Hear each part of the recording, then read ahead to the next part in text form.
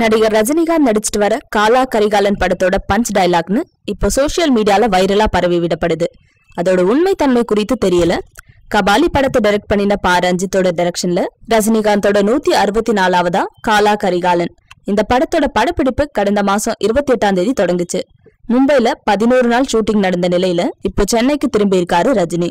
மும்பை தாராவிய மாதிரி பூந்தமல்லி சாலையில அரங்குகள் அமைக்கப்பட்டு அடுத்த கட்ட படப்பிடிப்பு நடக்க இருக்கு. இந்த நிலையில காலா படத்தோட ஆரம்ப காட்சியில ரஜினி பேசுற பஞ்ச் வசனமும் லீக் ஆகியிருக்கு அதுல நான் கால் வைக்கிறதும் வைக்காததும் உன் தலையை எடுக்கிறதும் எடுக்காததும் உன்கிட்ட தான் இருக்கு.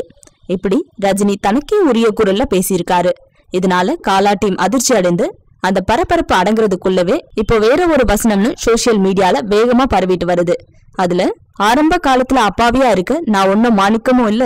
வேதவல்லிய தேடி போற கபாலியும் நான் இல்ல. பத்து பேர் நிக்கிற சண்டையில ரெண்டு பேரோட கைய உடைச்சு மூணு பேரோட காலை உடைச்சு மிச்சம் இருக்கிற அஞ்சு பேர் என்னோட காலை புடிச்சு கண்ணீர் விட்டு கதற விடுறேனே அந்த காலாடா காலன் கரிகாலன்னு அந்த வசனம் இப்படி இடம் பெற்றிருக்கு இதோட உண்மைத்தன்மை குறித்து படக்குழுவினர் வெளியிட்டா மட்டுமே தெரியும். இல்லனா படம் வெளியாகிற வரைக்கும் காத்திருக்கணும். தேங்க்ஸ் ஃபார் வாட்சிங் please like and share Don't forget to subscribe us.